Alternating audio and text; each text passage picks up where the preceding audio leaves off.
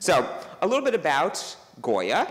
Goya began his career as an academic artist, as I said, and by 1799, he was the chosen court painter of Charles IV. Here you can see a painting appropriately then called Charles IV of Spain and his family from 1800 through 1. Goya is very well known for his portrait paintings of society nobles and of the royal family. But at the same time, he was making a lot of his pocket change, making money to survive as an artist, certainly from painting the royal family and nobility. He was also weighing that out with his great feeling of being a romantic artist, trying to lend credence or lend truth to the idea of reflecting on the real world as it actually was. So he couples doing these sometimes odd portraits. I talked about this in one of my in my 18th and 19th century class a few weeks ago. It's a weird portrait. We're not going to have enough time to spend looking at all the faces there, but it's it's a it's a peculiar portrait. But he coupled that with doing other works like this, um, and probably his most famous work. This is third, the 3rd of May, 1808 from 1814. This painting is in the Prado Museum in Madrid, and it is recounting events that took place, importantly during the Peninsular War.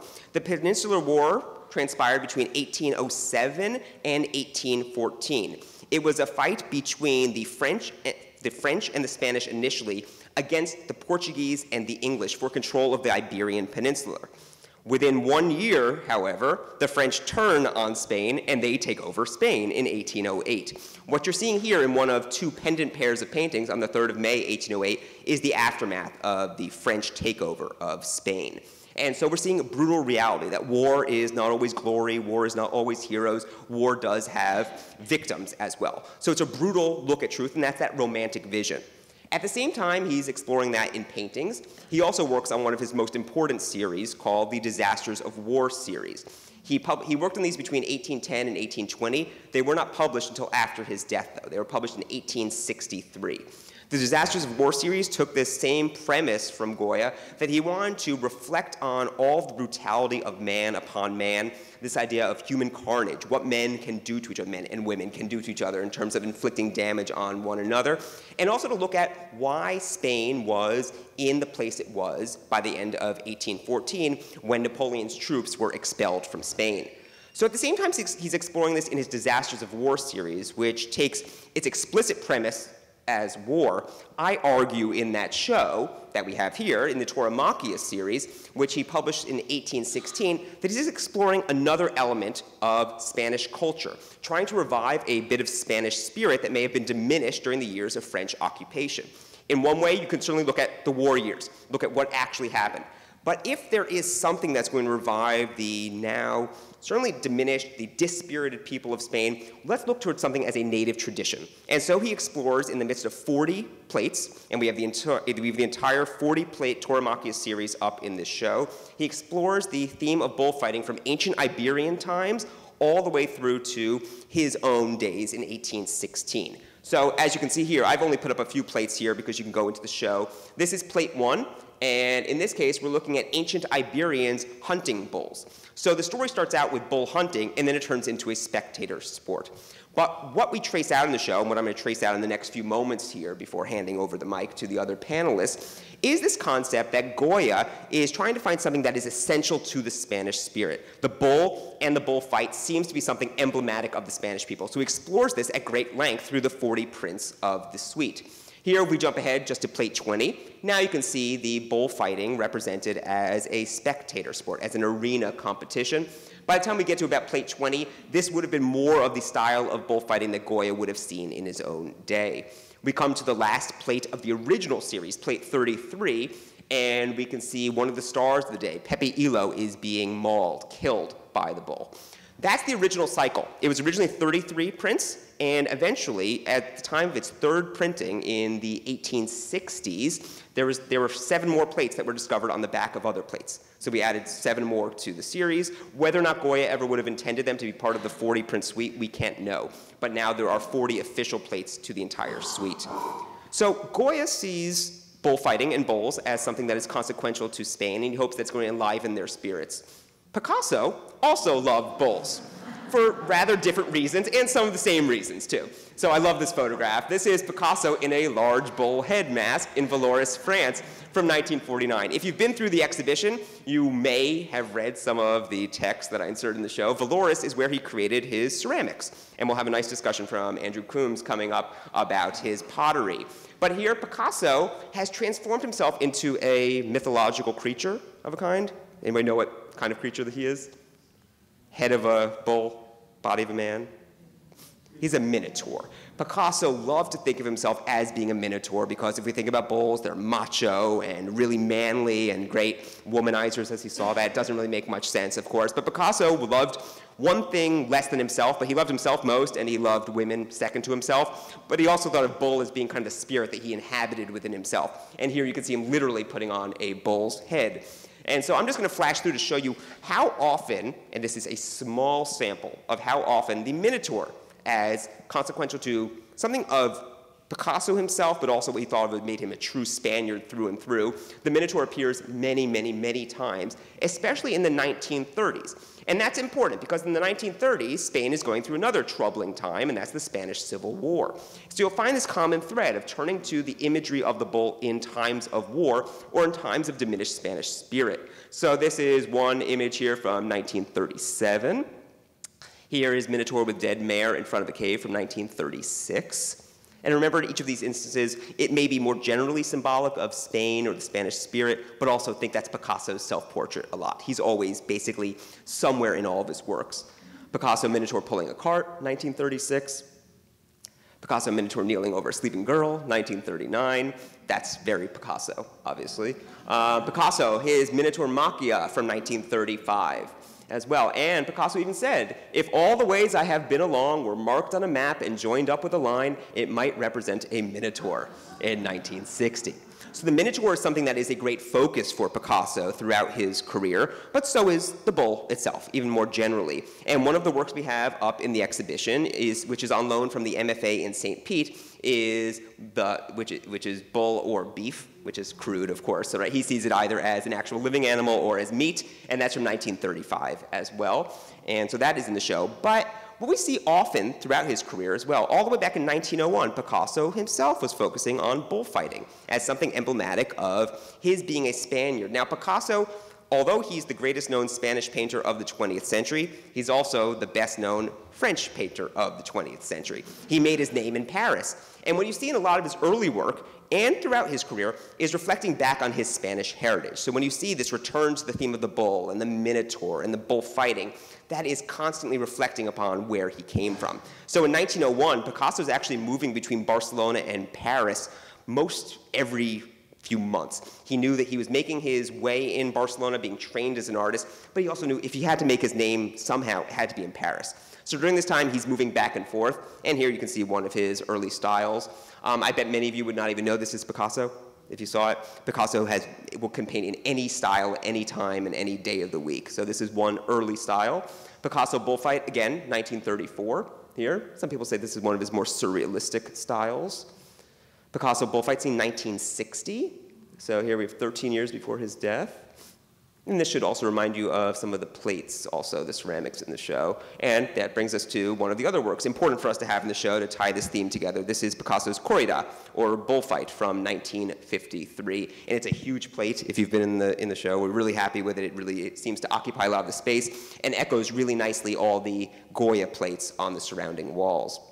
So with all these ties to the bullfighting theme or to the theme of bulls in Spanish history, that brings us to our main question tonight in a moment, and I just need to show you one more thing here. In terms of Picasso's relating the theme of the bull to Spanish history, perhaps the most famous painting of the 20th century is Picasso's Guernica from 1937. It is commemorating the bombing of the Basque town of Guernica.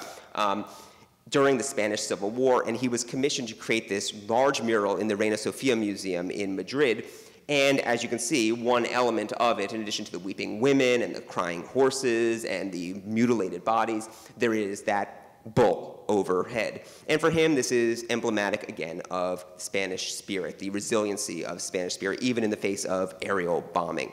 It's also a reference to Picasso himself, because anytime you see a bull in Picasso, just think it's Picasso. So again, that brings us then to this unifying premise for our panel discussion and Q&A and lectures this evening. If Goya and Picasso identified the bullfight as the most potent symbol of Spanish tradition, then what can we identify as essentially Spanish in Florida, right? So that gives us that premise. If Florida was originally colonial Spanish place, what can we identify in that way? And so that is all I will say for the moment. I will be returning every so often so you can hear me sniffle my way through, and I apologize again. But let me introduce our first panelist. Uh, Dr. David Arbesu is Associate Professor of Spanish and Graduate Program Director at the University of South Florida, where he teaches courses on medieval and Golden Age Spain and transatlantic Florida studies. He holds a BA and MA in English philology from the University of Oviedo in Spain and a MA and PhD in Spanish from the University of Massachusetts Amherst. He has published many articles and has authored four books. So, David, I want to clean this off for you. Yeah, let me clean this for you. Anyway, I'm gonna, I'm gonna clean this for you. Good, and get rid of germs. I apologize. It's okay, I got my vaccination. It's okay. Not everybody.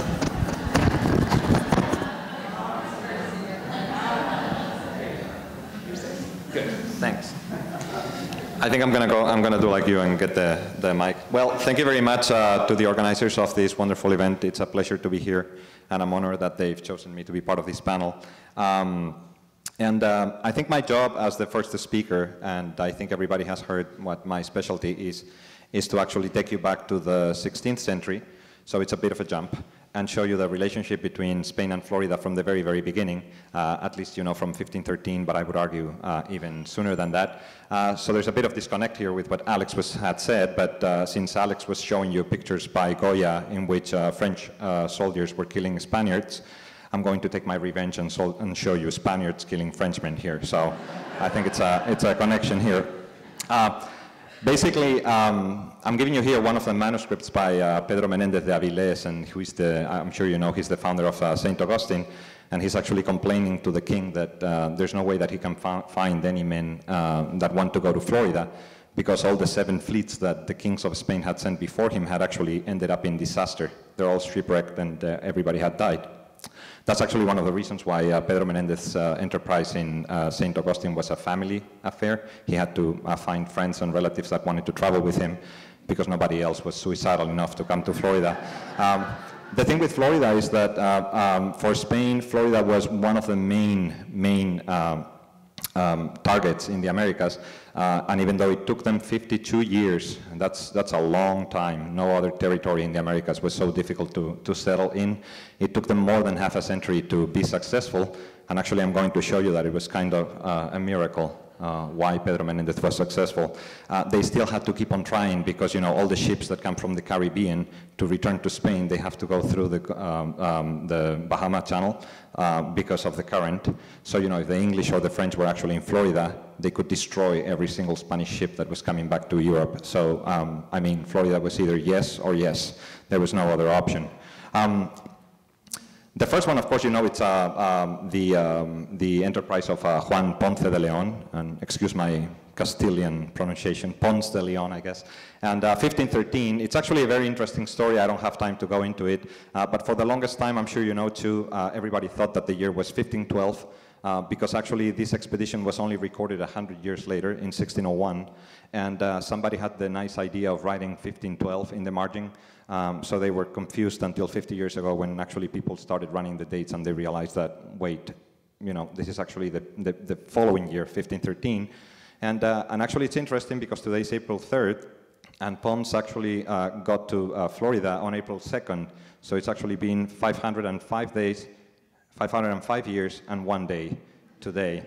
So it's a, it's a nice occasion here. Uh, with, with Ponce, and that's why I was saying it's not the beginning of the 16th century, it's probably the, the end of the 15th century that, that Spain began its relationship with Florida. It's because we know that people had been to Florida before, Europeans had been to Florida before. First of all, because when Ponce arrived in Florida, he actually found a Spaniard living there with the natives. Um, so that's already good proof that somebody was there. But also, if you think about it, we have maps from even before uh, Ponce's expedition. Uh, uh, both, of, both of them are very famous. One is the one by Alberto Cantino in 1502, and that's the one on the, on the left in color. And if you can see the island of Cuba at the very, very left, you can see there's a kind of a peninsula on top of it, which, I mean, again, we don't know, but it's probably Florida. And then the other one leaves no, no room for, um, for doubt, the, um, another famous map by Peter Martyr in 1511, that's again two years before Ponce's. If you see the island of Cuba, there's a line of islands there, the Keys. And then there's a peninsula there that if you flip, if you flip the, map, the map around, uh, you can see it says something like Isla de Beimeni Parte. So this is part of the island of Bimini, which was what they called Florida back then. Uh, so basically, both maps and the presence of Spaniards in Florida when Ponce arrived tell you that even though he's been claimed as the founder and the, uh, of Florida, he was actually not the first one there. It's just that we don't have any chronicles of the expeditions before him. The 52 years, actually, since Ponce's uh, first expedition in 1513 and the founding of St. Augustine in 1565 is what uh, historian Eugene Lyon has called the enterprise of Florida, which is all these continuous attempts by Spaniards to settle in Florida. They all failed miserably. Um, as you can see, uh, Ponce came twice, 1513, 1521. Then there's the expedition by Garay, uh, Vázquez de Ayllón, Narváez, Hernando de Soto, Barbastro. Every two, three, four years, uh, Spain would try again to settle in Florida because of its uh, strategic importance. But again, all the expeditions were a disaster. Uh, Ponce actually was uh, wounded by the natives of Florida and he went back to Cuba where he died from the wounds. Uh, Ayllón and De Soto were taken ill in their camps and they, they again died. And I, I guess the most famous of them, Pánfilo de Narváez, was shipwrecked off the, off the coast uh, of the Gulf of Mexico, the coast of the Gulf of Mexico, and he was never seen again. Uh, so it's not surprising that in 1561, the King of Spain, Philip II, said, you know what, there's no more expeditions to Florida. I'm done, 52 years. And as you can see, he changed his mind, right? So, and the reason why he changed his mind, and here comes the, the famous one, or the infamous one, depending on whether you're French or Spaniard, um, it's Pedro Menendez de Avilés. The reason he changed his mind is because he learned that the French were back in North America. And at this time in Europe, you had the wars of religion, and, and these people were Lutherans. And of course, in Spain, they were Catholics, so they could not afford having uh, uh, the French in, in, in, the Spanish, uh, in the Spanish colonies, and also because they were of a different religion. Uh, so he had to uh, get one of his most experienced sailors, which was Pedro Menendez, and really, really quickly set up an expedition to Florida, which is very, very interesting. Again, I'm just going to give you the one highlight here. Um, Pedro Menendez actually, um, his main concern was to get to Florida before the French could be reinforced. And he was not very lucky in that respect, although you'll see what happens, because on August 28, 1565, when he actually made it up the, uh, up the coast of Florida, at the same time he saw the French reinforcements coming into the port of um, what was called back then uh, Fort Caroline. Um, so basically, the French beat him by a couple of hours, not even. Um, um, unfortunately, though, he went back and uh, down the coast and founded St. Augustine a week later uh, on September 8th, and, and you know that probably. But what you may not know is that um, Pedro Menendez was actually the first successful attempt at uh, colonizing Florida, um, but it wasn't really because of anything he did.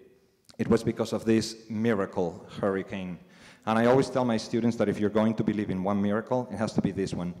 Because what should have happened here is that uh, if the French uh, fleet had followed, uh, the French fleet actually followed Pedro Menendez back to St. Augustine, and what should have happened is that they should have destroyed the Spaniards because they were very, very superior in numbers. And the Spaniards had just gotten there. There had been a previous hurricane that had made Pedro Menendez lose half of his fleet. And uh, so the numbers were not good. But at that precise moment when the French fleet came into the port of St. Augustine, there's this huge hurricane. It sinks all the ships, and it sends two or three ships down, down south. And the Spaniards were inland, and they didn't have to do anything.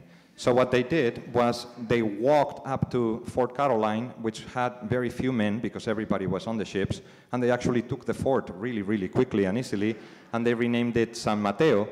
And then, to make things even worse, um, all Pedro Menendez had to do was go down the coast, pick up the survivors from the French shipwrecks, and kill them all because um, uh, the natives were pointing to him where the, where the survivors were, and here's my revenge of the Spaniards killing French.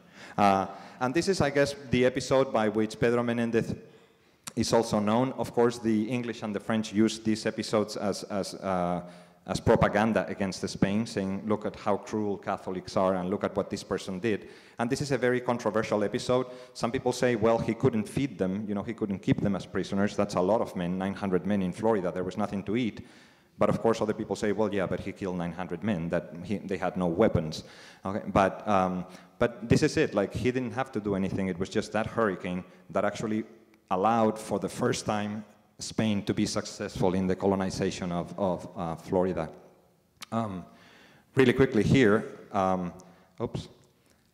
Um, just to give you the chronicles, because I always like about the chronicles. About the uh, Pedro Menendez expedition, there's two main chronicles here. One is the, uh, um, uh, uh the priest of the expedition and the first vicar of St. Augustine, which is, uh, again, Spaniards have very long names, Francisco López de Mendoza Grajales. And it's a very short diary in which he gives all the details of the, of the expedition, but it's only 10 pages long, so it doesn't give much detail. The second one, it's another first-hand witness, which is his brother-in-law, uh, Gonzalo Solís de Meras. So as I told you, this is a family affair, so he took most of his family with him. And uh, as you can see, this is the, the only manuscript we knew up until 2012. It's kind of problematic, it's missing a lot of sections, and it's very, very hard to read. And then in 2012, I had the luck of, of finding a second copy of the Gonzalo Solís de Meras Chronicle, and this one, as you can see, is much, much uh, nicer. And the main thing is that it's complete and in order. So for the first time, we actually have the whole picture of the founding of uh, St. Augustine. I'm going to leave it here, um, and I'm going to um, just tell you that, you know, the, the, all these uh, uh, failures that Spain had and all these, uh, the one success, it's given us a lot of uh, important literature about the United States, written in or about the United States, not only the chronicles of the expeditions, but several literary works like the uh, Shipwrecks by Cabeza de Vaca, who Melissa is going to talk about too, the memoir by Escalante Fontaneda, Herrera's description of the Indies, and Garcilaso de la Vega's The Florida of the Inca. But thank you very much.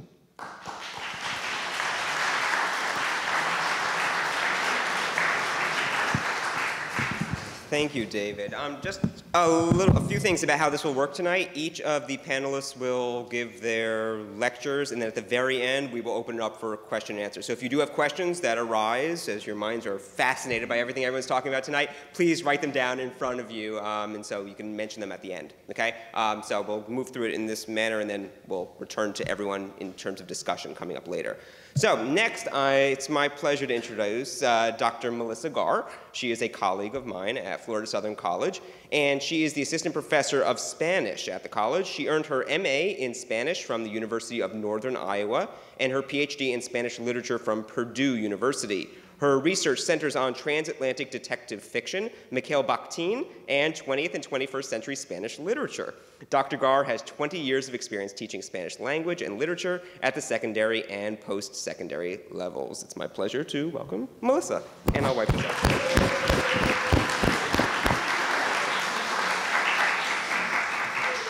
So you heard about my specialties, detective fiction, Mikhail Bakhtin, 20th and 21st century Spain. I'm talking about none of that tonight. So uh, um, I'm going to start where uh, David left off for me today, um, talking about cabeza de vaca, whose name actually does mean cowhead. If you're not familiar with Spanish, just I did find out yesterday exactly why his name is cowhead. So if you want to ask that later, I'm giving you an opening for the Q and A. Um, Naufragios, which means shipwrecks, was published um, the first chronicle in 1542, and it details the Narvaez, the failed Narvaez expedition um, from 1528. 480 men go to this expedition. They leave Havana, and um, by the time they leave Florida, the Florida area, there are only 251 left. They leave on five homemade boats. They take all their stuff apart, put them back together in boats, and they ship off. And this is the route that the survivors sort of take after being shipwrecked. Um, and then uh, by the time they all make it back to Spanish territory, there's only four left. Among them is, of course, Cabeza de Vaca, and he writes his chronicle, and it took him eight years to walk from Florida all the way back to Mexico. One thing I want to point out here on this map is um, they kept talking about in the very beginning part um, that they were going to leave the boats behind and they were going to try to meet up with them at a harbor they thought was just 10 or 15 leagues away. And they were um, originally right over here in um, the St. Pete area, and they kept talking about how Panuco was only 10 or 15 leagues north of where they were, so somewhere around here. But Panuco is actually over here. So that just gives you an idea of kind of where they were trying to go. Um, we're going to focus on the Florida part because that's kind of our point today. Um, and, and the thing that's really fascinating about Cabeza de Vaca's text is that it's from him that we have all of the surviving records of the cultures of the Gulf of Mexico. Um, we just don't have any other chronicles. But remember, none of this was based on field journals or anything. I mean, he was enslaved by several different groups. He traveled as a shaman for a while. He didn't like write stuff down on the fly. So he came back to Spanish territory and then he wrote things down. And um, but it's from him, for example, that Europe has its first um, knowledge of the American bison. So we're talking about bulls and bullfighting. Um, he called them hunchbacked cows. So that was interesting. Um, so he makes it, they, they land in St. Pete here, and um, they hear from some Indians, they catch some people, uh, and they, they find guides, they hear about this place in the north called Apalache. And they go to Apalache because they've been told that's where all the gold is, right? Because, of course. And they get to Apalache, and uh, there's no gold there. And they say, no, there's no gold here, but there's a place called Aute. It's a few days' journey away. Um, and uh, they've got lots of gold there, right? So, um, so they keep moving on, and as they go, um, they have increasingly um, difficult relationships with the indigenous populations. But one of the things I want to point out today is the way that communication happened, because like nobody had been there before, so it's not like they had translators, right? So they just kind of showed up and were talking to people, and they said, you know, they just showed up. This is the first day. The next day, the Indians of that village came, and although they spoke to us as we had no interpreters, we did not understand them, but they made many gestures and threats and seemed as if they beckoned us to leave the country. And it kind of begs the question, like, how did you know that? You know, how do you know what they're saying? And when they're asking, where's all the gold? Where's the maize? They were hungry. Of course, there's nothing to eat in Florida. Where's the maize? Where's the, where's the beans? You know, but they don't really know what they're saying.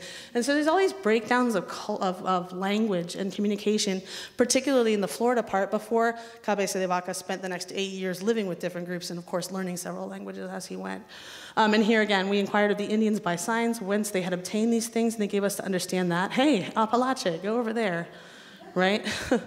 And then on their way to Apalache, they meet this other group that says that they're going to help him. From his gestures, it seemed to us that he was an enemy of the Apalaches, and then he would go and help us. But again, from his gestures alone, this is how we're sort of understanding what's happening with, with Cabeza de Vaca. And so part of the failed nature of these expeditions has to do with they don't really know how to communicate with people. And I think that that's part of. Um, it took them from May 1st, when they landed, to June 25th to reach that Apalache place.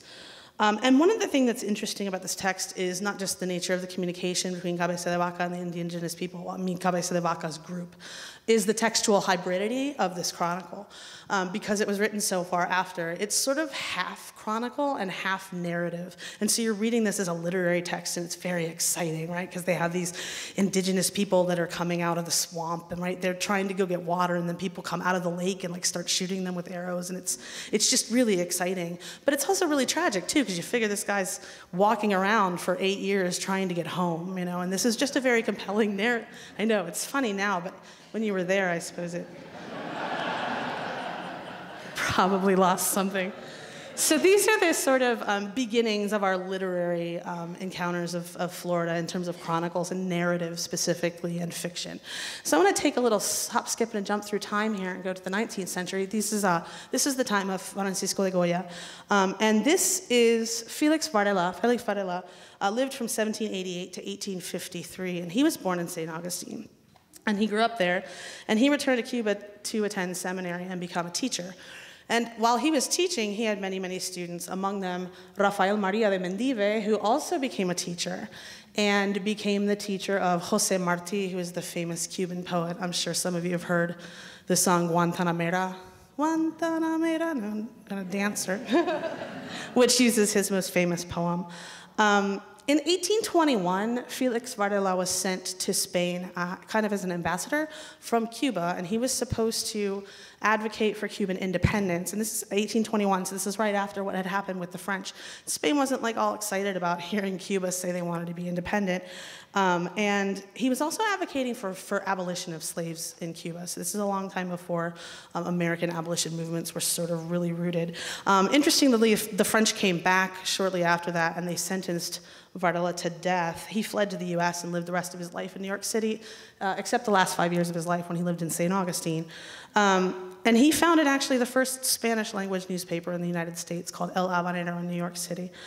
Um, Jose Marti was was heavily influenced by um, the shared values, the sh values that he shared with Varela. Among them were things like a scientific education, a moral education in patriotism, Latin Americanism, honor, dignity, equal rights, aesthetic education, and physical education. And these actually became the hallmarks of early Cuban nationalistic education projects that were later co-opted by the revolution in the 20th century.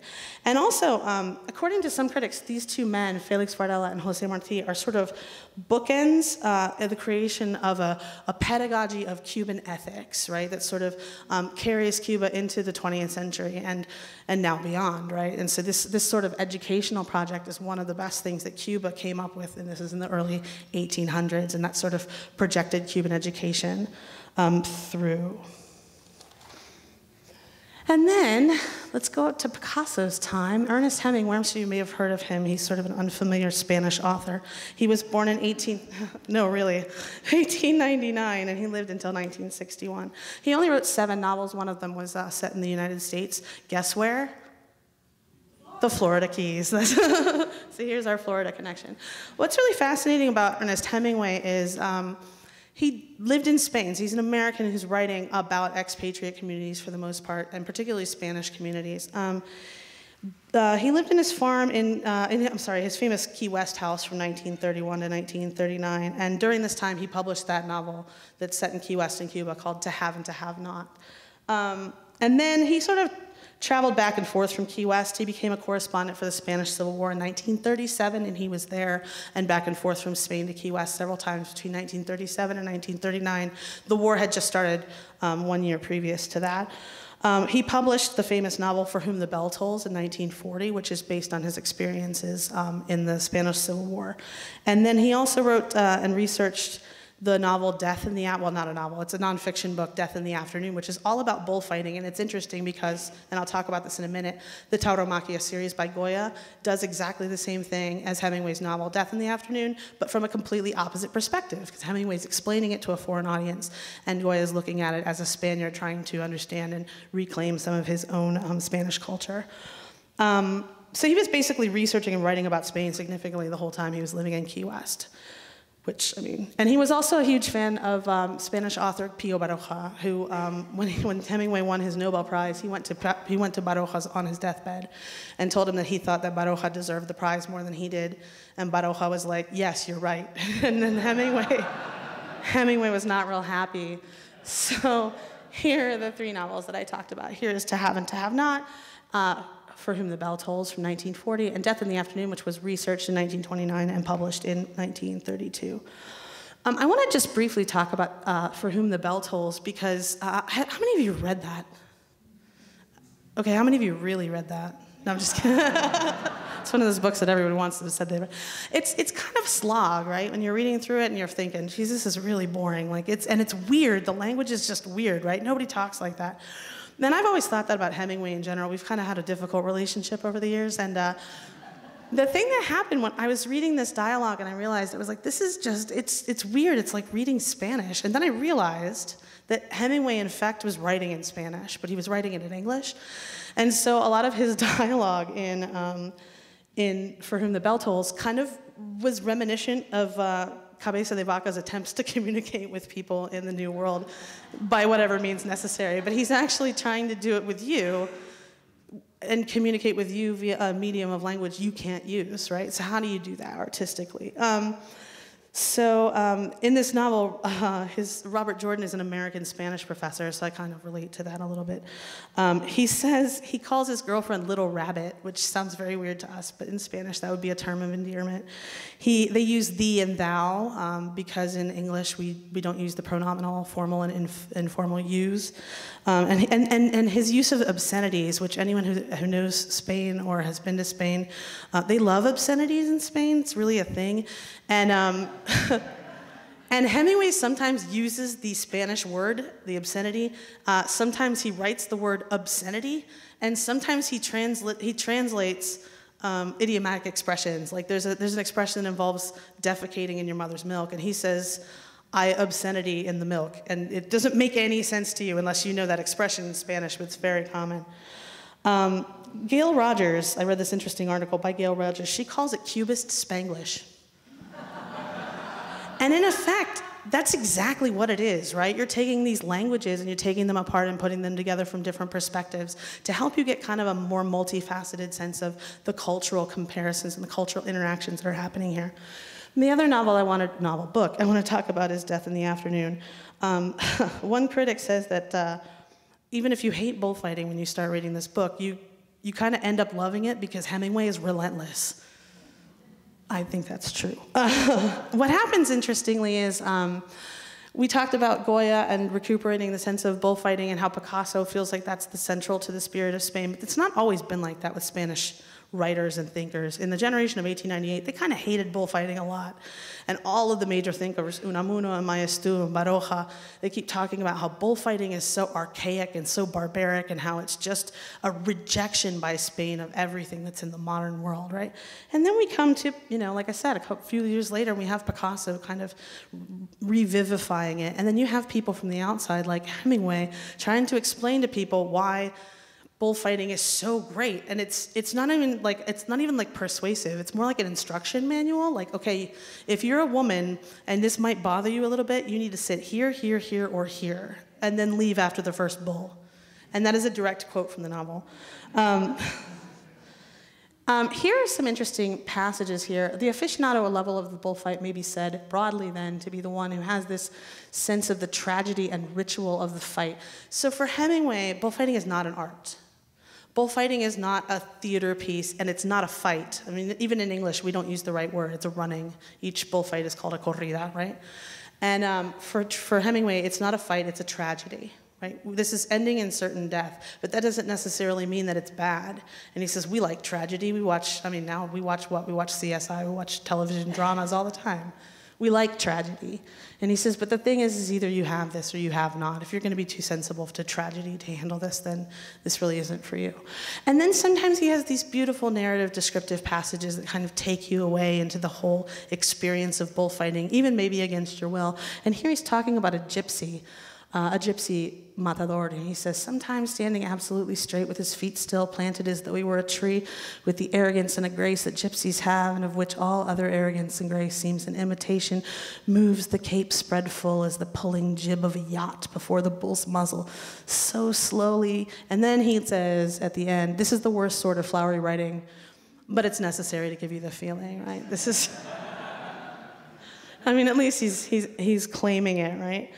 And what I wanted to point out to you is then that um, with Hemingway, and maybe with all of you who are coming into this from perhaps a foreign perspective, right, that there are different ways of looking at these things. There are different perspectives that we bring to this art of Spanish life, right? We see bullfighting, we see these um, etchings by Goya, we see this literature and these literary encounters. And Florida has been a stage for all of that for many, many years. And so, with that said, I'd like to uh, pass it on to my colleague Andrew over here, and he's going to tell us a little bit more about those interesting connections.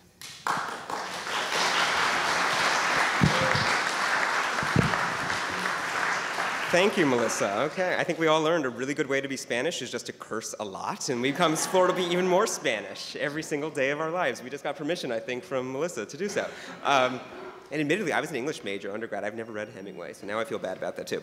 Okay, but let's move on. Um, it's my pleasure to introduce Professor Andrew Combs. Andrew is a professor of art at Polk State College in Winter Haven, Florida, where he teaches ceramics and three-dimensional design courses. He began his ceramic career making pinch pots in his father's pottery studio and continues to make functional works today. He earned his MFA in ceramics in 2008 from the School for American Crafts at the Rochester Institute of Technology. Andrew.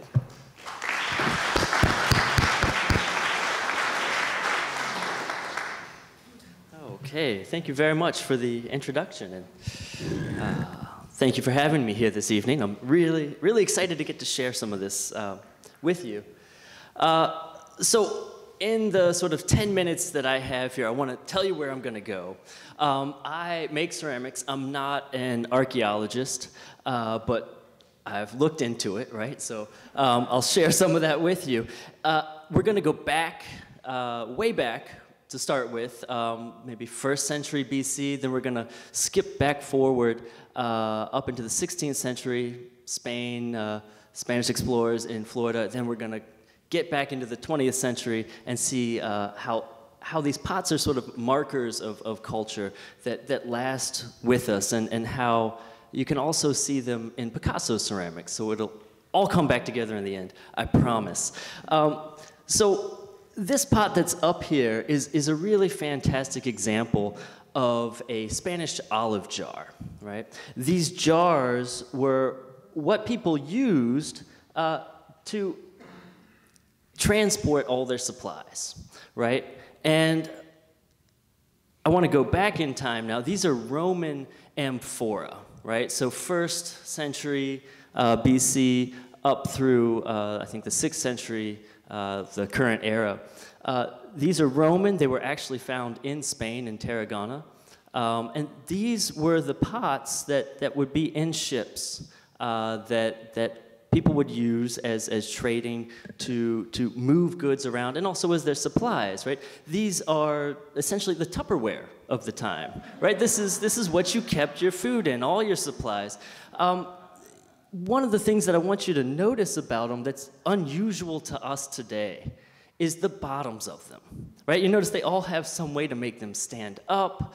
Uh, and to, why would you do that, right? Well, of course, a ship, you know, the ship's hull, it's not square, it's not a flat bottom, it's a keel, right? So it's curved. So if you made flat things, they wouldn't sit flat in that ship. So they're able to stack them up and stack them on top of each other. So it makes perfect sense. When you unload them from the ship, then they would, you know, you don't have as many tables. You probably didn't bring a lot of tables with you on the ship, right?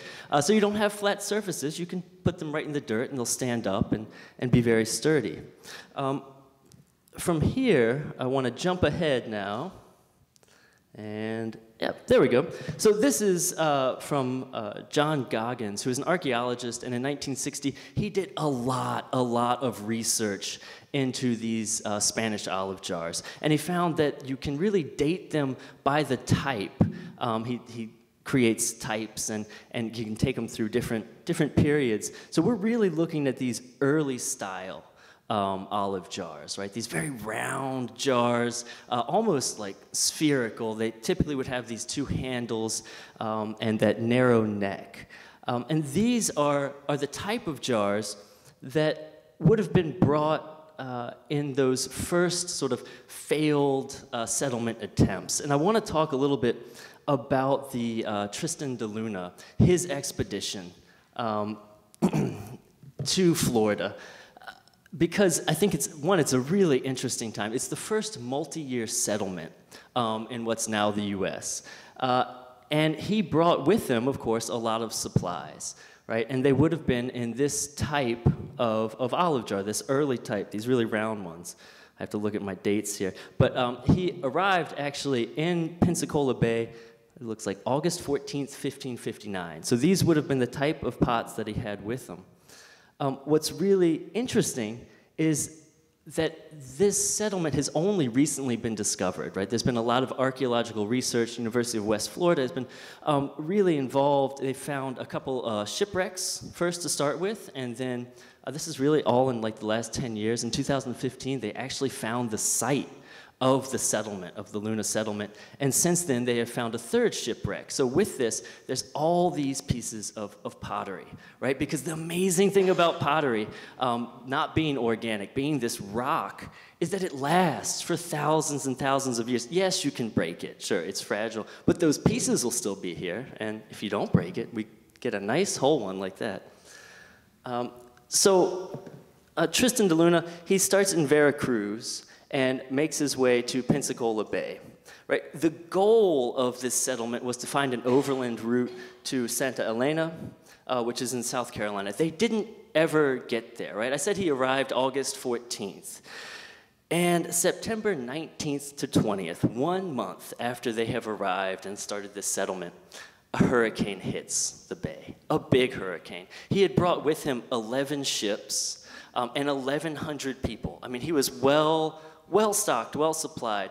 Um, you know, these, these expeditions, typically they would have about three times the amount of supplies as the English uh, settlements and colonies, right? When you think of Jamestown, I grew up in Virginia, so we would have believed Jamestown was the first, which now I know is not true, right? Um, but uh, so they were, they were well prepared.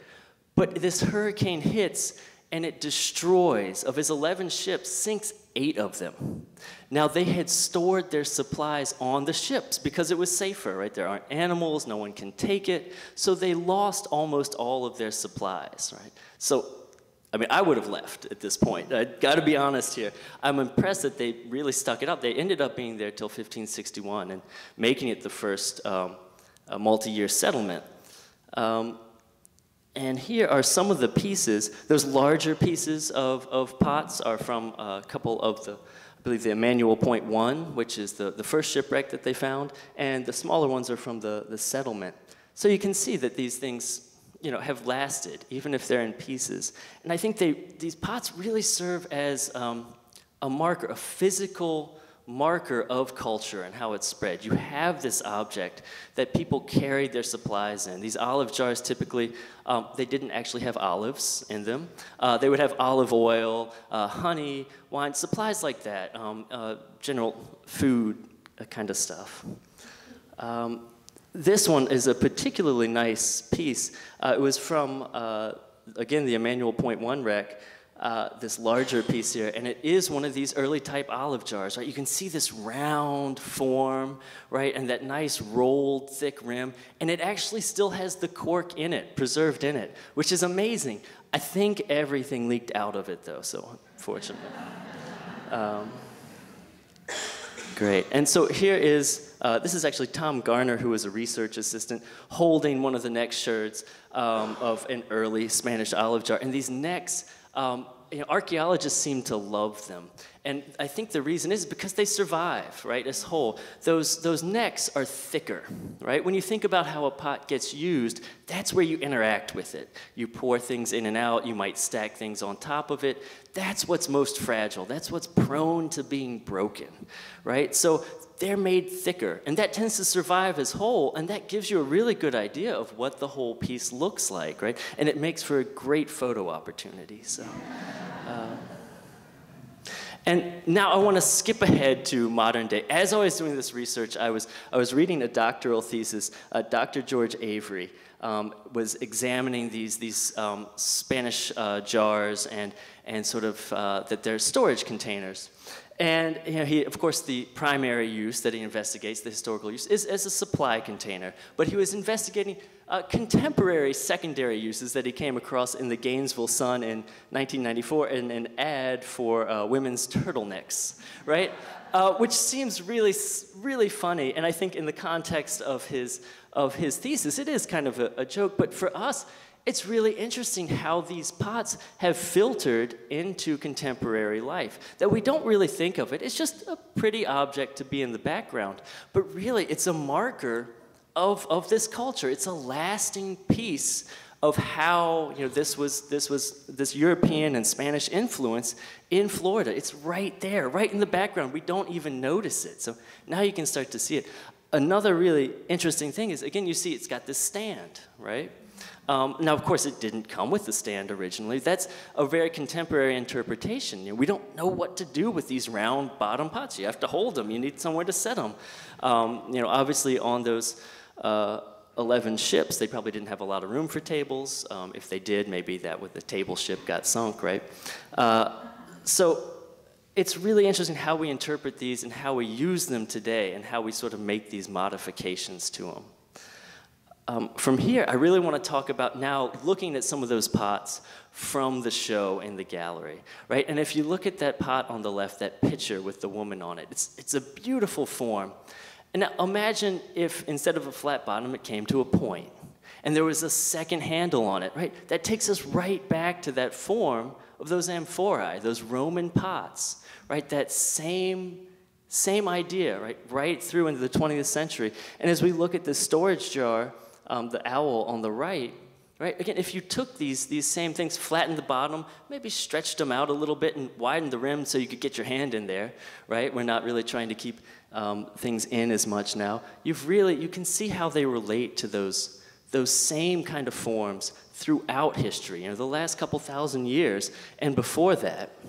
Um, and in my research, I also found this pot of Picasso's, which just beautifully tied everything together. I mean, you look at the form, you see this round, round thing with the narrow neck. It really, to me, is talking about those early Spanish olive jars, um, those, those forms. Imagine if instead of just one handle, you know, it had two. You're really pretty close to it there. And then, of course, the scene of, of this bullfight, right? We've got this bull on here. And I think this is a beautiful, beautiful example of, of what Picasso is doing on ceramics. You know, he's working in 2D, he's incising, he's painting, but he's putting it on this 3D form. And all of a sudden, this, this decoration comes to life. It has movement, it has volume. You know, the head is lowered. You can see it charging, right? We've got the sand of the arena, the uh, uh, banderillo uh, up there in the back of, of, the, uh, of the bull. I mean, this thing is it's really coming to life and moving through space, you know. And of course, the bull. Um, Dr. Rich talked to us about that idea of machismo, right? And and uh, and Picasso. And you know, I think you can really see that in in the piece. That that that is. I had to search a little harder for that image. It wasn't. Uh, the the Christie's auction website didn't feature that one, but still, I mean, look at what he's done with the tail and the handle, you know, that, that moves out into space, that this thing is running through it. Um, so I really think that this, this pot and, and all of those really sort of trace a lineage of culture, um, you know, from Spain, of course, to Florida, but even before that, throughout the Mediterranean, throughout human history, we can really look at pots and form and, and see how that makes a record for us. thank you very much.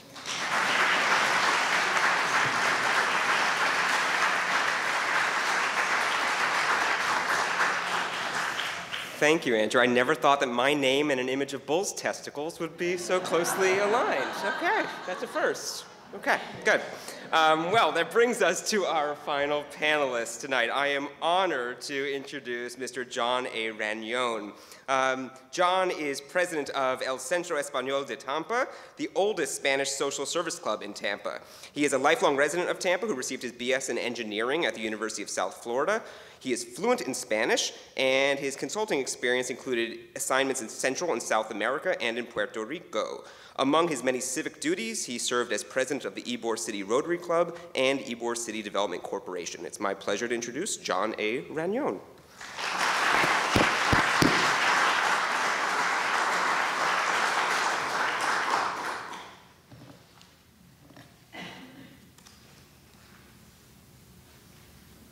Buenas tardes, españoles y descendientes de españoles y personas que les gustaría ser español, damas y caballeros. So, how many of you are worried that this is going to be all in Spanish? don't, don't be concerned. I feel so inadequate. I'm following three PhDs and a Master of Art, and here, here all you're going to get from me is BS. Right?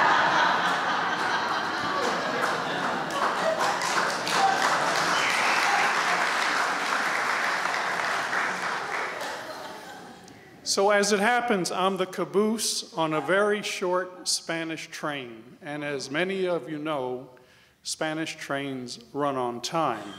That was not always so.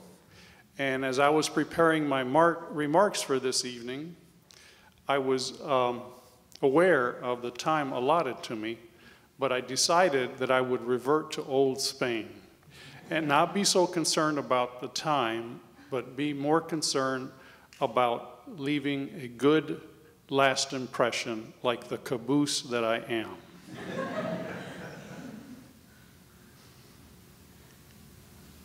I should have shown you this first, but I'm not going to tell you about it until the end. So, um, as the previous panelists have reminded us, more often than not, when people think of the Spanish influence in Florida, the experiences of the explorers come to mind. Thus, St. Augustine and to a lesser degree Pensacola are preeminent in our consciousness. But we know shortly after their arrival, the explorers turned their attention uh, elsewhere and found the riches that they were searching for in Mexico and Peru and other places. It took nearly four centuries for Spaniards to return and stay. In Florida, they did so in an unlikely place, Tampa. The story of our arrival and permanence is a fascinating one and resonates still to this day. The story begins in Cuba. In the late 19th century, our neighbor to the south was in turmoil as the majority of the population sought independence from the yoke that was Spanish colonial rule and governance. One of the many industries that suffered during those turbulent times was the cigar industry. And stressing the owners even further is that the U.S. imposed a strict tariff on imported cigars. Sound familiar? but interestingly, not on tobacco leaf. To escape the cauldron of strife, and to take advantage of the absence of a tariff on tobacco leaf, several industry owners decided to move their operations to Key West.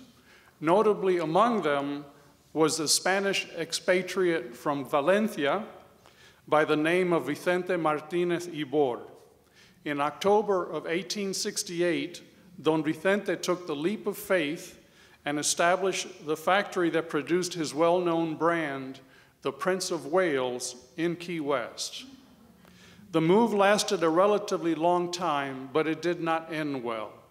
Beset by its isolation, by the lack of fresh water, by poor transportation, and because uh, Don Vicente experienced the same labor difficulties that he experienced in Cuba, uh, he set about looking for a place to move his factory. His search began in earnest in 1885 and was concluded in April of the following year when his beloved Prince of Wales factory was destroyed in a fire.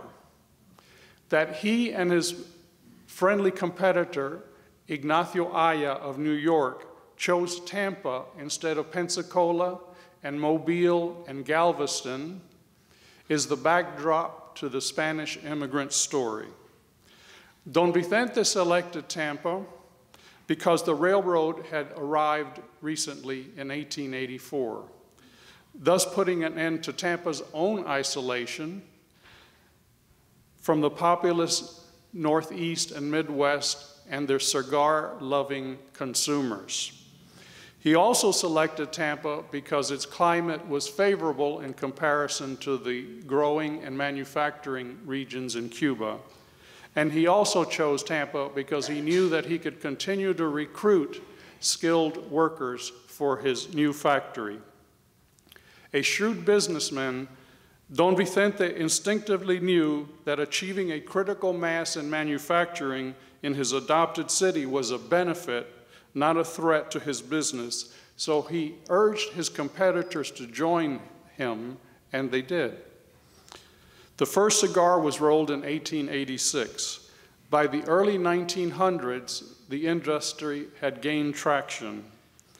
Don Vicente did not live to see its heyday, but, by the, but the city that he adopted was to become known as the cigar capital of the world. That is not an exaggeration. By the 1920s, cigar makers in Tampa were producing an astonishing 450 million hand rolled cigars per year. But I'm getting ahead of myself. The Spaniards, Cubans, Italians, and others that began arriving in 1886 discovered a forlorn village of fewer than a thousand inhabitants where streets of sand predominated and where alligators, mosquitoes, tropical disease, and the absence of basic social and medical institutions proved daunting, not to mention the clash of cultures and language. But Martinez Ybor and Haya persisted, and soon an industry was born uh, in a very short period of time. The primitive conditions that the first wave of skilled Spaniards and Cubans found were improved by the provision of housing, sanitation, food, and transportation. Absent from the improvements in the early years was the, were the institutions that provided social services. But then, in December 1891, barely five years after the first cigar was rolled, several dozen Spanish immigrants formed the Centro Español de Tampa, its creation provided a means for the growing Spanish immigrant community to maintain its cultural identity and to provide a sense of belonging in a place where the local population looked warily at the newcomers. Later, the Centro would transform itself into a true mutual aid society, providing cradle to grave services, including health services. The Centro Español was followed by the creation of a second Spanish association, the Centro Asturiano, also still in existence, as well as associations serving the Cuban, Italian, and German immigrant populations. The growth and prosperity of the Centro Español and the other similar associations was linked to the success of the cigar industry. As the industry prospered in the early 20th century, so too did the vibrancy and prosperity of the social institutions. By 1920, the Centro Español had constructed two grand clubhouses, one in Ybor City on the left, and the second in West Tampa, a hospital, a medical clinic, and a cemetery. Both of the clubhouses were grand in appearance, scale, and filled with amenities, each housing a cantina, a theater, a ballroom, and a library. The hospital, dating to 1904, was state of the art for its time, and perhaps for a good while after, the preeminent hospital in the state of Florida. However, the Spanish influence in Tampa extends beyond its architectural legacy. It also includes the richness of contributions made by individuals that comprise the colony, contributions that transcended the centro. These include notable men and included and include notable men and women in industry, the law, education, architecture, the arts, medicine, politics, business, and sports. In the early years, our first presidents distinguished themselves not only in their service to the Centro, but also to a growing and ever more prosperous cigar industry in Tampa. Pictured here on the left is our first president, Don Ignacio Haya, the same Ignacio Haya who was a co-founder of the cigar industry in Tampa, as well as important successor presidents, Vicente Guerra and Angel Cuesta. As for those who follow, followed, I can cite a few examples of the effect of assimilation and the richness of the contributions of individuals comprising the Spanish colony. I mention the governor of the state of Florida, the chief of police of the city of Tampa, a president of the Florida Senate, a president of the National Education Association, chiefs of surgery, authors of national prominence, painters, and of course, baseball luminaries. I would be remiss not to mention two additional notables by name. The first is my Uncle John, or Juan, who is present this evening. A native of Spain, my uncle continues to practice architecture in Tampa some 66 years after he graduated from the University of Florida.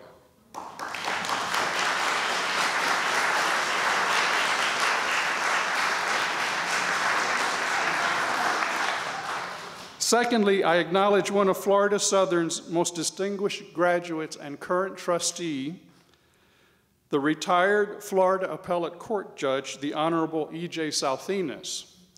Judge Salcines returned to Tampa this evening from a trip to Europe and could not be with us.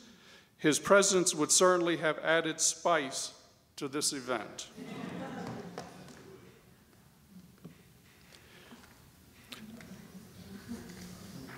Time passes, things change. What once was vibrant and grand is now diminished. Inquiring minds may ask, ¿Qué pasó? What happened? Well, the external factors that led to the near demise of the Tampa Bay cigar industry also had a profound effect on the social clubs. These factors included the drop in demand for premium cigars brought about, the, brought about by the World War I and later the Depression, the consolidation of the cigar companies, which led to the demise of single owner factories replaced by large North American corporations. Mechanization, the, popular, the popularity of cigarettes, prohibition, which lasted a very long 13 years, thank you, the flight to the suburbs after World War I, and the Cuban cigar embargo. Additionally, we must recognize one other important external factor and one important internal factor. First, the advent of Social Security, embedded in the reforms of the New Deal, and the emergence of private medical insurance that was increasingly provided by companies after World War II meant that our members no longer had to rely on the Centro for their medical care. And second, by the end of World War II, the descendants of the first immigrants were more numerous and more proper, prosperous, and they didn't work in a single industry, and they didn't reside in a single neighborhood, and they had many opportunities to become educated, to socialize, to recreate, and to receive health care. In other words, we became one with the culture of the United States. You may wonder how the story of Spanish immigrant community in Tampa fits in with the rest of Spanish immigration in the United States. As I entered adulthood, I came to believe that the Tampa experience might be unique in the U.S. Was it so? Well, within the past decade, that view of uniqueness has been validated through the work of Dr. James Fernandez of New York University who has been studying Spanish immigrant, immigration in the U.S. exhaustively. He writes, and I quote, the Spanish community in Tampa was probably the largest of all, and it was most certainly the most compact and enduring of all of the Spanish colonias in the U.S. Whereas Spanish immigrants in most places had to adapt to pre existing social and labor conditions, the Spaniards in Tampa actually played a role in the creation of the modern manufacturing center that Tampa became. And while the Spaniards in most places left very few visible markers of their presence after their dispersion and assimilation, Tampeños have bequeathed us a remarkable but precarious legacy of brick and mortar, granite, and porcelain. This basic fact Immigrants in Tampa were in important ways founders of their own community, is the basis of Tampa's uniqueness among Spanish enclaves. So, what about my family? Well, Our story begins in 1921, more than 30 years after the cigar industry was founded. In that year, my paternal grandfather, Domingo, second from the left, arrived from Spain via Cuba, like so many others, second from the right. that, that would not. I, I heard my sister objecting to what I just said. And so, so I knew I had made a mistake. Uh, seeking a better life. At the time, he left behind his wife, my grandmother Ramona, third from the right, and my father Angel, third from the left, in Spain. A skilled carpenter, my grandfather plied his trade away from his family for 10 long, lonely years. The only time he was reunited with his family was in 1927 when he traveled back to Spain to say farewell to his dying father. By the way, during that visit, he also did his part to ensure that his second son, Juan, who you just met, was eventually brought into this world. After returning to Tampa, this time through Ellis Island, my grandfather is, continued to establish himself economically and wait patiently for permission to bring his young family to Tampa, knowing that the U.S. Immigration Act of 1924 severely restricted immigration based on national origin. Then finally, in December 1930, the U.S. consul in Vigo sent my grandmother a letter indicating that the U.S. was issuing three entry documents for her and her two sons.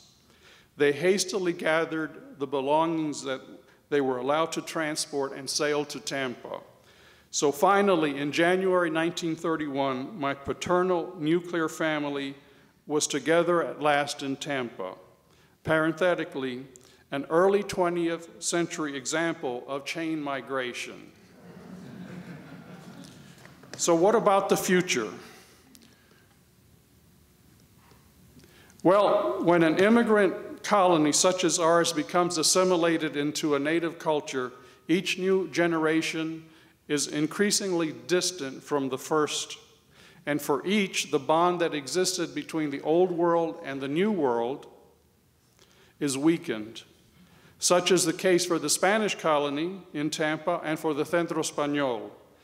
But despite the challenges of time and memory and language, those of us who care about the legacy of our institution and our heritage will carry on as best we can. We shall perform good deeds until all of the money runs out or until we are all gone. This may sound like a typically Spanish fatalistic viewpoint, but at least it's honest. As long as we can, we will do this. We will honor, preserve, and celebrate the legacy of the Spanish community in Tampa, and we will have as good a time as possible doing so. Our forefathers would expect nothing less. So earlier, you heard that the premise of tonight's event was uh, the posing of this question. If Goya and Picasso identified the bullfight as the most potent uh, symbol of Spanish tradition, what can we identify as essentially Spanish in Florida? Well, if Goya and Picasso were able to come back, and if the Tampeños in the audience were allowed to host them in their travels around Florida, and the first place we took them was to see this sculpture Goya and Picasso might reasonably ask us, what is Don Quixote doing in a lobby of a bank in downtown Tampa? to which we might reasonably reply, Don Francisco, Don Pablo, do we have a story to tell you? Thank you for your attention.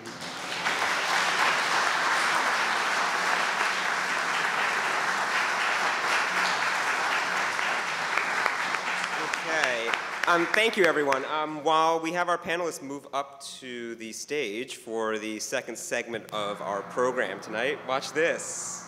This is exciting. Um, we have about 30 minutes allocated now for discussion and Q&A, so I ask you to take advantage of the fact that we have all these great experts, um, perhaps including myself, but I'm one of the panelists as well, so if you have questions about anything that we have discussed this evening, anything you are wondering about in terms of the theme of the program, please, um, we have a microphone set up in the middle here, and we will address them to each of the individual panelists. They are set up in the order of their presentations, including me. So anybody who wants to ask a question, please make your way to the microphone in the middle. More like 15 minutes. Okay. Okay. So 15 minutes or so. Any questions? Yes, go ahead.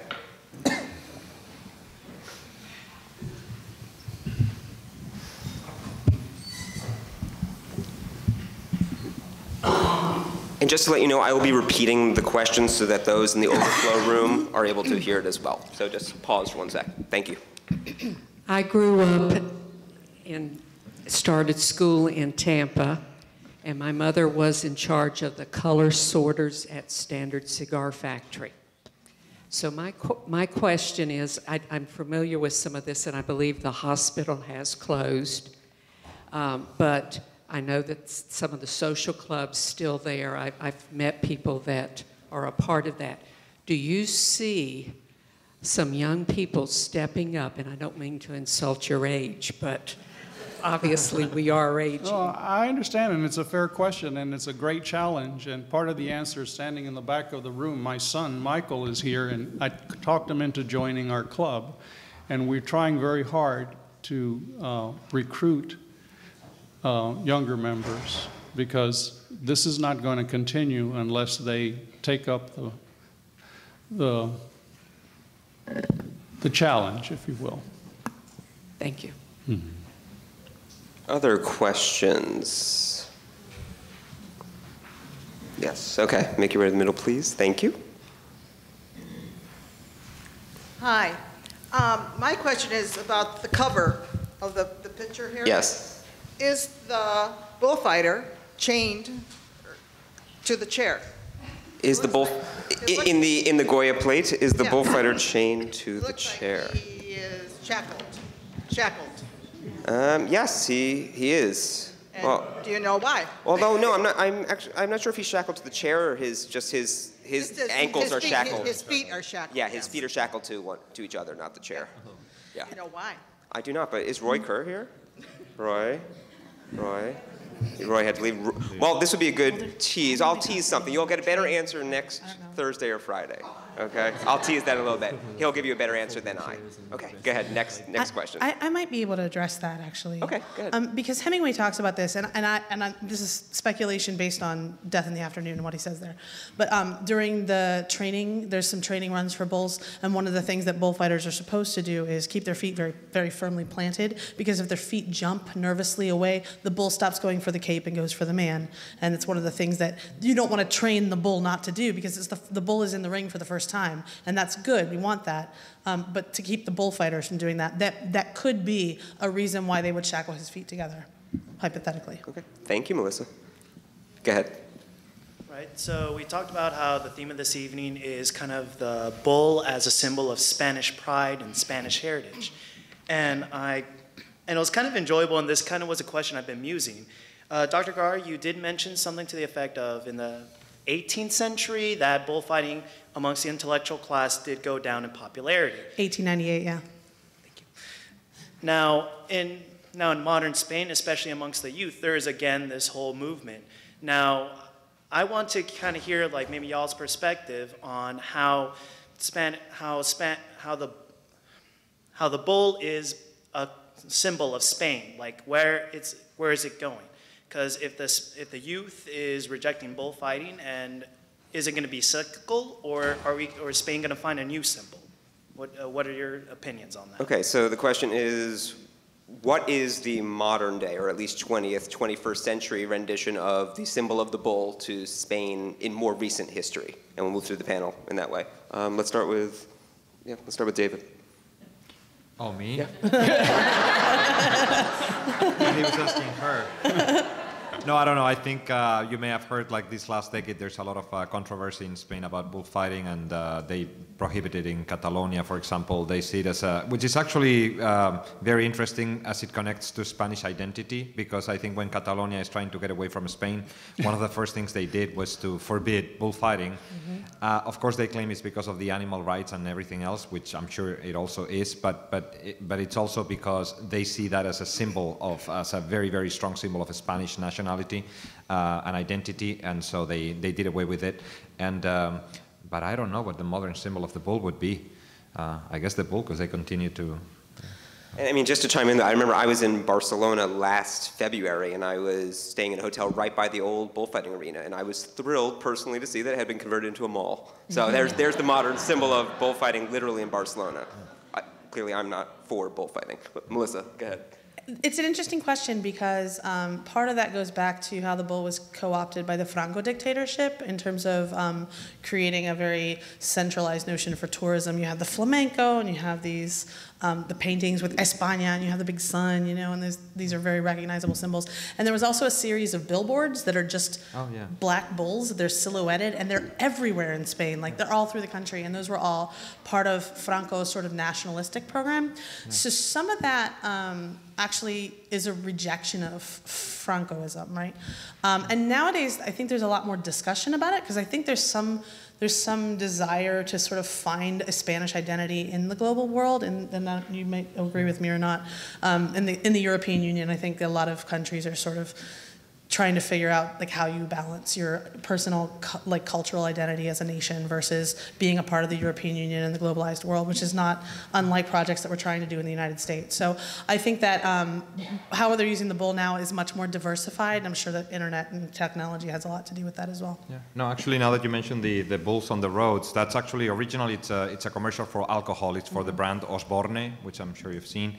But when they when they passed the law that um, that you know you cannot advertise alcohol on on the roads on billboards, um, um, you know people protested so much about the bulls that they actually made an exception. So so you cannot have any. Now nobody identifies that bull anymore with the brand of alcohol, with a, a brandy, with a Osborne. It's just such a strong symbol of the country that they made an exception for those billboards, and, and you can still see them all over the all over the country. So.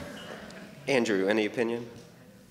Uh, well outside of my area of expertise, but I could suggest that a new symbol might be the olive jar. If,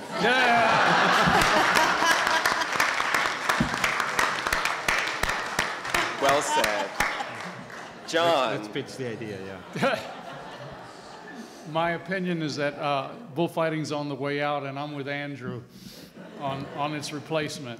I mean, as the, as the art historian here, I would venture to say, and I don't mean to aggrandize Picasso, but he's pretty much the grand master of the 20th century. I might dare say that just because of, you know, especially with visual imagery, with the popularization of the imagery of the bull via Picasso and or any other artist renditions, I think there's still always going to be that association of the bull, maybe outside the bullfight specifically, but I feel like the bull seems so essentially in my mind as a, re- as a relation to Spain itself. Maybe we can divorce it from the cruelty of the bullfight.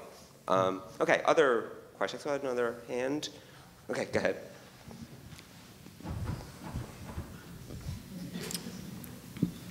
Whoa, this is serious. All right. So I'm gonna go off of his last comment about the uh, the bull, the new symbol. All right. So after hearing uh, them saying that the European country, I think, is denying like the sense of Spain and their their pride. Am I right?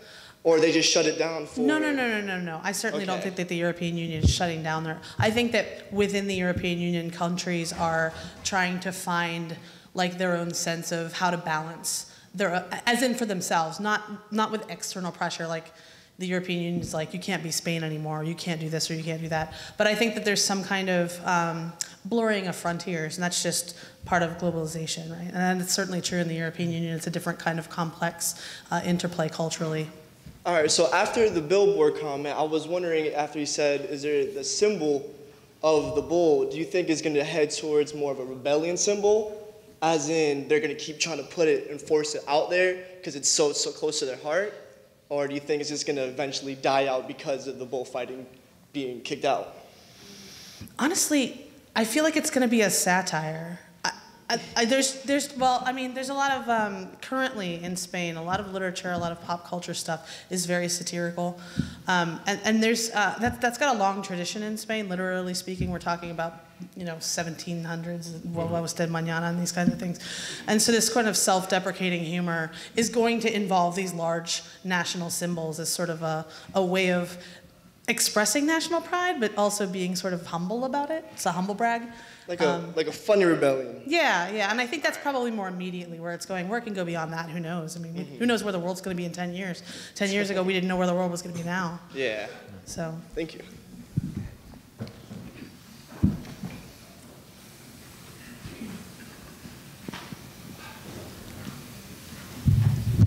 Uh, biographers of uh, Goya wrote down that he said, Some days we are the bull, some days we are the matador.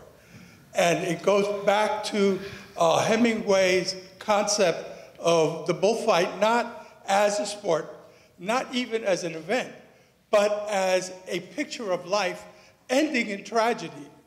And if we think of the bull as the ultimate end, when Goya died, or the day he died, his biographer said that he told the doctor, Leave me alone me and the bull.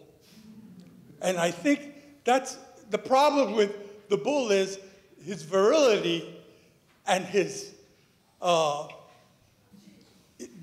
and his attitude of death, uh, his virility and his concept of death kind of intertwine. And we see the strength of man and the weakness of man at the end. And uh, that's the beauty of the bullfight. I don't like the bullfight, but that's the beauty of the bullfight. Do not ask for whom the bell tolls, it tolls for the bull. and I guess the word I was looking for earlier with machismo was also cojones, right? Yeah. Picasso had big cojones. Um, but I think also, and I think that's a really wonderful point, and I think it's a good also summary of that suite that Goya presents. We start with the ancient Iberians bull hunting, and of course we end with, as I phrase it actually in the text of the show, because I felt like going the other way with the description of it, it's the bull seeking revenge. It is the violence of it, and the bull is finally winning out. We could read it that way, or we could see it as the great tragedy of that cycle of life. But the original 33 print suite ends with the killing of one of the celebrities of the day. So I want to toss something over for a second, though, to John, because he brought a special surprise for us that literally brings our topic of our discussion today right here to Florida. So I'll turn it over to John for a second. Well, you mentioned earlier that Picasso loved himself first and women second, right? So one of the things he was a master of it was his sculpture. And in the uh, early 1970s, through a somewhat of a convoluted process, there was a possibility that one of his sculptures, called the Bust of a Woman, was to be constructed uh, on the main campus of the University of South Florida. If it happened, it would have been 100 feet tall and quite imposing on, on the campus. Uh, and uh, there was an article recently in the Tampa Bay Times about a scholar and researcher in the Special Collections Department of USF that uncovered some material, including a model of the sculpture. Uh, and it resonated with me and my family because in the early 1970s, my father was intrigued by the, being a proud Spaniard as he was, and knowing who Picasso was, was intrigued about the possibility and, and being a skilled craftsman he made his own model, and here it is. It's called The Bust of a Woman. Needless to say, uh, insufficient funds were raised uh, in the early 1970s to, to construct this behemoth. Uh, but it's uh, another tie uh, of Picasso in Florida in, in an indirect way, but still there's a tie. So, bottom line, we'll be taking donations tonight to construct this at the Polk Museum of Art. Now, it, people have commented it was uh, an endeavor that was doomed to failure uh, because Picasso uh, was a radical politically and uh, had received the Lenin Prize uh, of all things.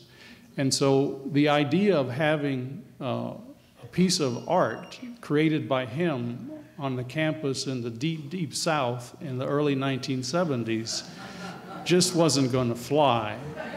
And it didn't.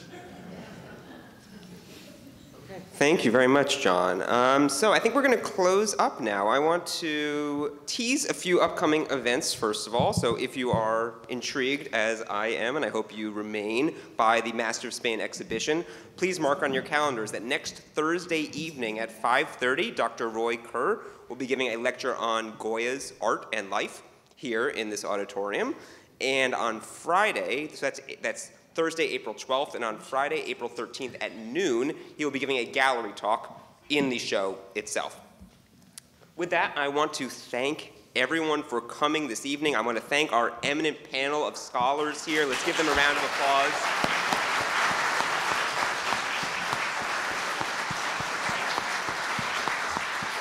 I want to thank the Florida Humanities Council for the grant supporting this evening. I hope you all had a great time. I also want to extend special thanks to Suzanne Grossberg, who, without whom this would not have happened this evening. She was really responsible for this. Please, everyone, remember to fill out your surveys before you leave. And I'm sure any of the scholars here would be happy to speak with you individually if you have any questions as you're on your way out. Thank you all very much. Oh, and I just want to thank our ushers for the evening as well. Um, one, my coworker, Diane, and she's the curator of the Melvin Art Gallery, and one of my current students, Melanie. So please thank them also for helping this evening. Thank you, everyone, and hope to see you soon.